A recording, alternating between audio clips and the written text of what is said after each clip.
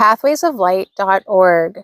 Welcome to the reading, A Course in Miracles Workbook Lesson 166 Insights. I am entrusted with the gifts of God.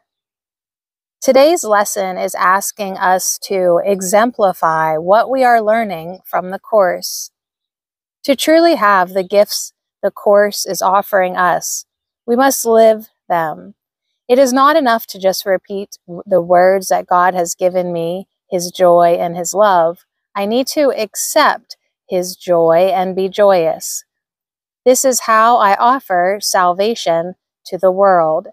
This is how I offer joy to my brother by demonstrating joy. I can only demonstrate joy when I align my will with God's will when I remember his will and mine are one and the same. If I perceive myself attacked by a brother and respond with attack, I have made the world real and denied my Creator's will. His will is to love and nothing else.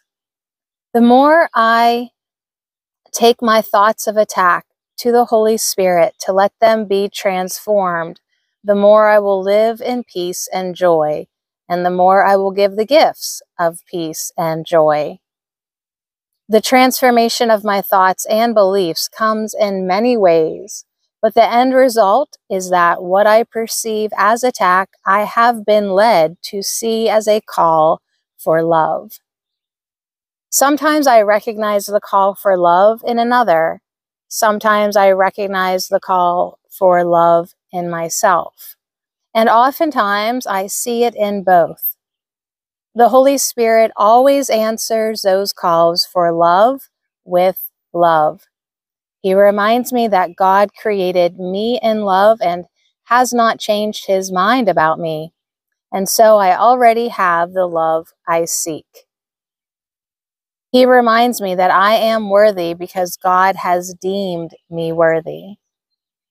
Sometimes the transformation of perception leads to an action or expression to a brother to help him know that he is loved in a form that he can receive. Sometimes it is only a thought of love in my mind that I can offer, but always as I give the gift, I receive the gift. I feel the strength of love in my heart grow. Today, let me recognize the love I have and am. Let me freely give it so I may receive its blessing. Thus do I fulfill God's trust in me that he has demonstrated by his gifts to me. God's gifts to me are his love, his peace, and his joy. God's gift to me is true happiness. God's gift to me is heaven. Jesus tells us in earlier lessons that we are heaven. We have been given heaven. It is our only identity. Our job now is to let go of wandering in the wilderness like the prodigal son. Our job is to accept our inheritance from our Father in heaven and be willing to be led back to heaven by the Holy Spirit.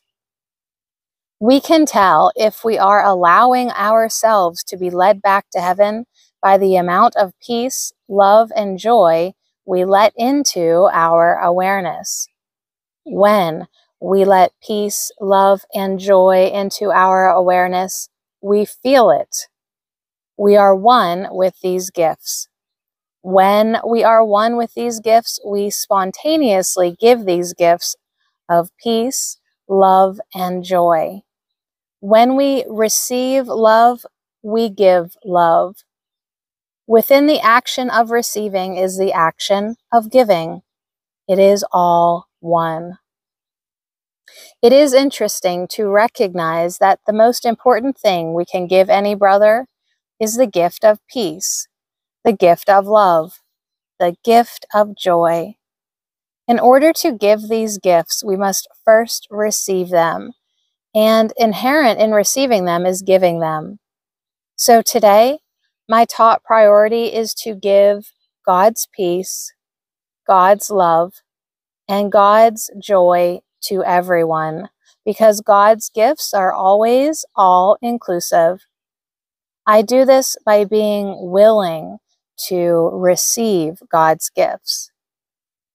My practice today is often asking myself, am I actively receiving God's gifts of peace, love, and joy right now? If not, my job is to open my mind to the Holy Spirit and ask with desire. What I ask for in my heart of hearts, I will receive. What a wonderful opportunity I have today. The practice of receiving the gifts of God and giving them away. I have succeeded in making it a habit to ask Holy Spirit to take my thoughts of attack and transform them. Though I don't always do it, I do it more often than not. It is making a huge difference in my life. I realized this morning that I almost never follow my request by asking for God's love and comfort. I am not asking for joy. I think this tells me that I am resisting my true self and clinging instead to the self I made. I think the only way to change this is by a conscious decision to do so.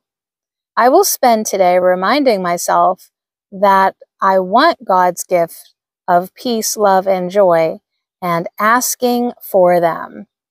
I am sure that receiving them will increase my motivation. It is essential I do this because I must have them so that I can give them away. This is my part in the salvation of the world. I think that unconsciously I was beginning to realize what I've been doing because lately it has been bothering me a lot that I am so seldom accepting these gifts from God. I've been talking to Holy Spirit about it, but somehow I've been thinking of them as rewards, nice, but hardly necessary, and perhaps not deserved yet. I see it differently now, and I thank God for this new vision. Pathwaysoflight.org